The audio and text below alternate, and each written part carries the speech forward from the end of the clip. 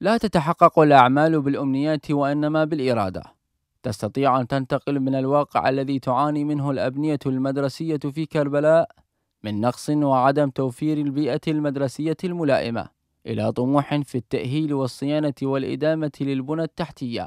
ومنها مدرسة الأساور الابتدائية للبنات. بسبب كثرة الطلبات الموجهة للأمانة العامة للعتبة العباسية المقدسة من قبل مجموعة من مدارس كربلاء المقدسة يعني هي مجموعة كبيرة وبالخصوص المدارس البنات القديمة. فارتأت الأمانة العامة للعتبة العباسية المقدسة وبالتنسيق مع بقية الأقسام. بالبداية نحب نشكر الأمانة العامة للعتبة العباسية. قدموا واللي شفناه وأول ما أفرحوا أفرحوا تلاميذنا بصراحة يعني التلاميذ كلها فرحانين بالتغيير والتجديد اللي يصير مدارسهم والواهس والإقبال على الدراسة والأهالي أيضا هم إجوا وشكروا على اللي سوته العتبة لجنة فنية متخصصة شكلتها العتبة العباسية المقدسة. بملاكاتها من قسم الصيانة الهندسية وشعبة المشاتل إضافة إلى كادر رسامي شباب كربلاء التطوعي بإشراف شعبة العلاقات الجامعية إذ شملت الأعمال صبغ الجدران وصيانة التأسيسات الكهربائية والمائية وصب الأرضية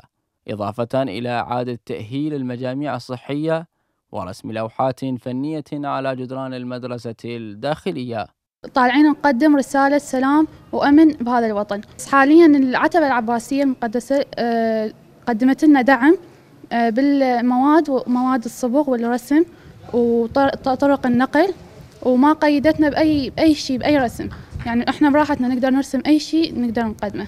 آه، الفكرة من الموضوع أو الانطلاق الموضوع التثقيف والبناء البناء البناء التحتية والتجميل منطقة كربلاء أو مدينة كربلاء المقدسة صناعة بيئة مدرسية آمنة بتوفير شروط السلامة وإرجاع الروح لها لتستقبل طلبتها للمضي بالعام الدراسي الحالي.